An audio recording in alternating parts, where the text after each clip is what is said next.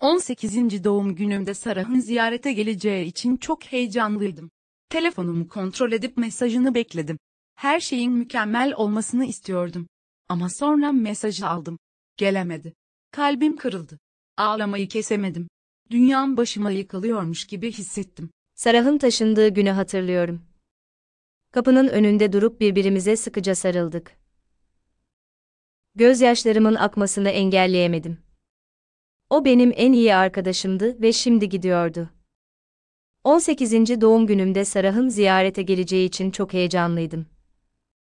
Telefonumu kontrol edip mesajını bekledim. Her şeyin mükemmel olmasını istiyordum. Ama sonra mesajı aldım. Gelemedi. Kalbim kırıldı. Ağlamayı kesemedim. Dünyam başıma yıkılıyormuş gibi hissettim. Kardeşim beni neşelendirmeye çalıştı, bu yüzden bir bara gittik. Dikkatimi dağıtacağını düşündüm ama sonra onu gördüm. Sara, yeni arkadaşlarıyla gülüyordu. Kalbimde bir bıçak saplanıyordu sanki. Bardan koşarak çıktım ve bu bankın üzerine yığıldım. Ağlamayı kesemedim. Kardeşim dışarı çıktı ve yanıma oturdu, beni sıkıca tuttu. Yüzü çok nazik ve şefkatliydi. Tek kelime etmedi ama sevgisini ve desteğini hissedebiliyordum.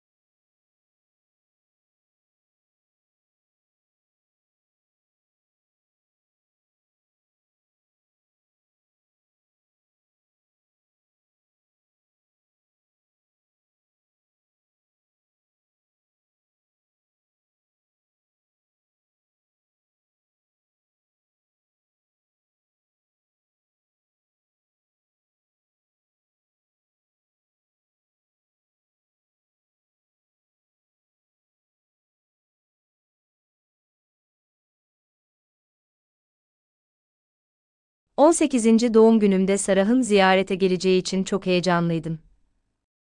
Telefonumu kontrol edip mesajını bekledim. Her şeyin mükemmel olmasını istiyordum.